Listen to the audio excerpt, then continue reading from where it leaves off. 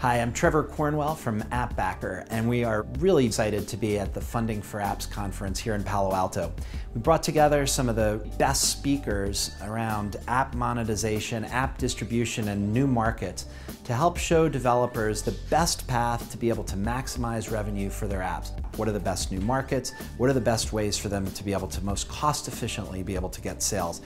That's what we're talking about at the Funding for Apps conference. We are uh, introducing a new product called appbackr Xchange. It's going to be a key tool for developers to be able to get the best distribution for their apps. Developers can see how their app rates from 1 to 10 and based on that score, they're going to get the chance to see great offers from distribution outlets, stores around the world, carriers, OEMs, and the Funding, Financing, and Distribution Conference is all about showing what the opportunities are for developers. Xchange is all about bringing that opportunity directly to developers in a way that they can use every day to maximize revenue and sales for their apps.